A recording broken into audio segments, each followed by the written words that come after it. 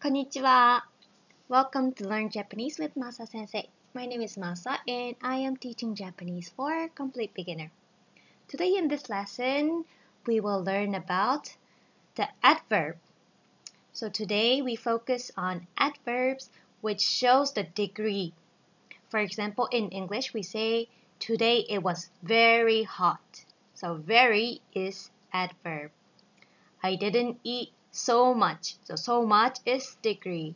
So let's go through the table on the side. Uh, so from the top, 非常に、すごく、とても、大変、かなり、少し、あまり、ない、そんなに、ない、全然、ない。So from the top to the bottom, so it shows the degree. So the top, takai, it says takai, the arrow shows above. It means very, the degree is higher. And then the other side, if you go to the bottom, it says hikui, which means low. So it means the degree is lower. This is not all the adverbs. We have a lot of lot of uh, other adverbs, but I choose some of them which are pretty uh, useful. Let's look at some example. If I want to say, today is extremely hot. So we go from the top. 非常に extremely very very 今日は非常に暑いです。Let me use some kanji so that you can also use, uh, learn some kanji. 今日は非常に暑いです。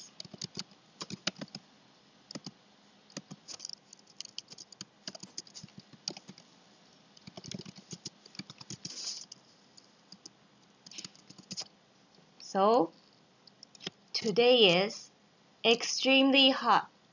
今日は非常に暑いです。So, adverb comes before the adjective or verbs.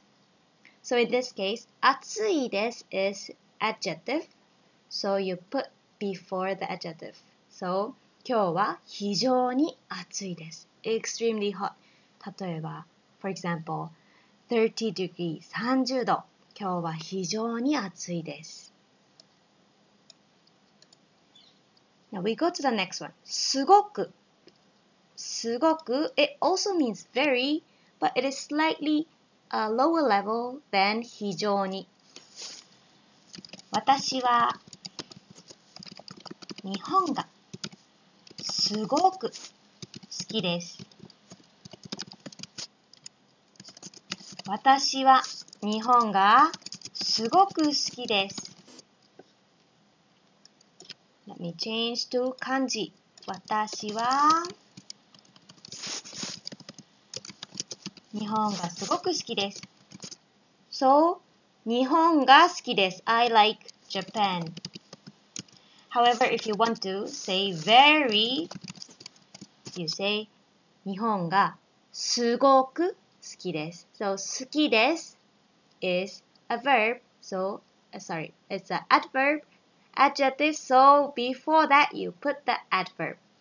日本がすごく好きです。すごく is also used for uh, among friends. So if you want to say like I like this, you can say これが すっごく好きです。これがすっごく好きです。If you put the small つ it will even emphasize. So すっごく is very, but it, it, you can use it among friends.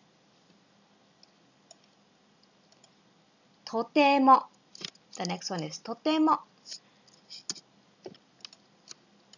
I am very tired. I am very tired.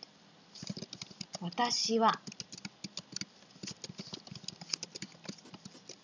とても疲れました。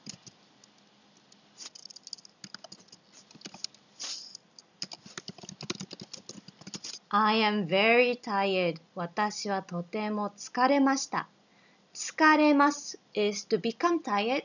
So this one is past tense. 疲れました。私はとても疲れました。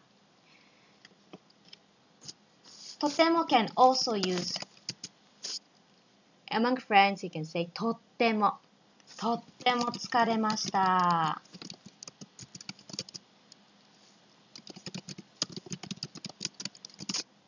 とっても疲れました。Now let's look at the next one. 大変、大変。For example, I am very hungry. I am very hungry. 私は大変お腹が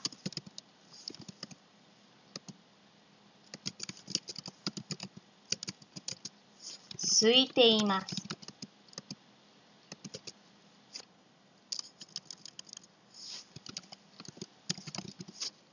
私は大変お腹が空いています。そう、お腹が空きます。空きます is the verb. 空きます is the future tense. I will become hungry. お腹が空きます。However, now I am hungry. So you have to change into ing form, which is 手 form plus います。空いています。I am hungry now. 私は大変お腹が空いています。So this one means very. So we have many, many ways to say very. However, uh, just to differentiate, uh, 非常に and Taihen. And Taihen is um, it's a polite form po polite word. Polite. So maybe in some newspaper or like let's say some book or when you talk together with your boss someone who you respect you would use 非常に and 大変。とても and すごく uh, is informal.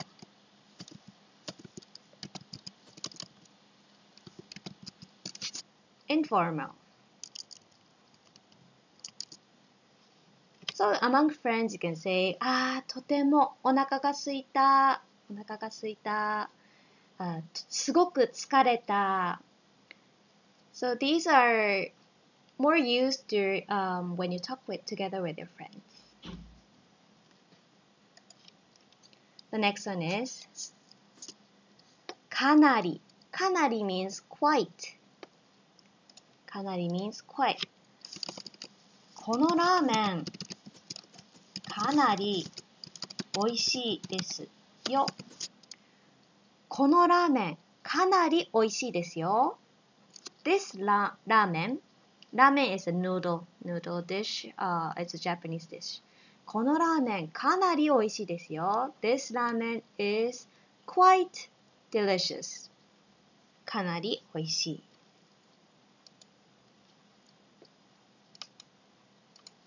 The next one is 少し少し日本語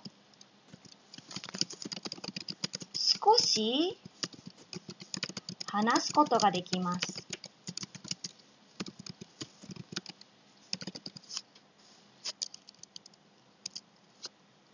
日本語を少し話すことができます。So, 話します is to speak. 話します is to speak. You change into dictionary form and put together with ことができます。話すことができます means can speak. So 日本語を少し話すことができます means I can speak a bit of Japanese. So 少し means a bit.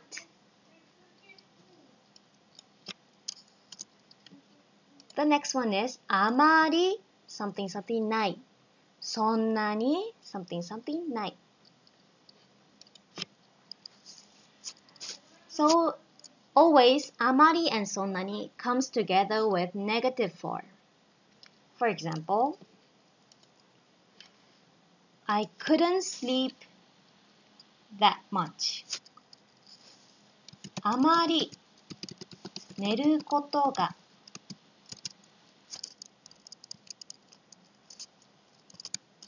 できませんでした。